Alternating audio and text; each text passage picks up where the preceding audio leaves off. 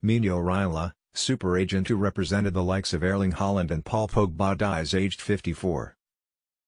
Mino Raiola represented many of European football's biggest players, including Zlatan Ibrahimovic, Paul Pogba and Erling Haaland. Mino fought until the end with the same strength he put on negotiation tables to defend our players, read a statement from the Raiola family.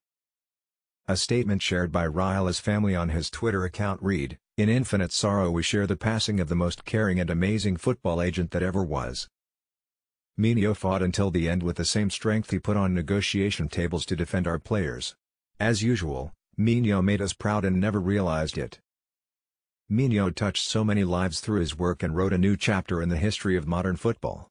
His presence will forever be missed. Mino's mission of making football a better place for players will continue with the same passion. We thank everybody for the huge amount of support received during these difficult times and ask for respect to the privacy of family and friends in this moment of grief. account tweeted in January to say he was undergoing ordinary medical checks and that he had not required emergency intervention.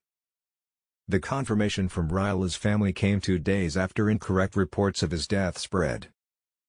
Alberto Zangrillo, head of the anesthesia and intensive care unit of San Raffaele Hospital in Milan, where Raiola was being treated, said I am outraged by the phone calls from pseudo-journalists who speculate on the life of a man who is fighting. Raiola rose to prominence in the Netherlands and Italy in the 1990s and was involved in the deals that saw Dennis Bergkamp and Pavel Nedved move to Serie A. More recently, Raiola helped to broker Paul Pogba's then world record transfer to Manchester United from Juventus, as well as Erling Haaland's move from Red Bull Salzburg to Borussia Dortmund. Raiola's rise from pizzeria worker to super agent. Perhaps the name of Roderick Turpin means little to you. He was a Dutch footballer who made a handful of appearances for Ajax in the 1990s before moving on to De Graafschap and drifting out of the professional game by his mid-twenties. No matter, that one transfer had already set him up for life. Turpin revealed as much in his own account of the deal. In an extraordinary act of brinkmanship, his agent had walked out on negotiations with De Graafschap, then, as now, an unremarkable Dutch team. He demanded they match Turpin's salary at Ajax.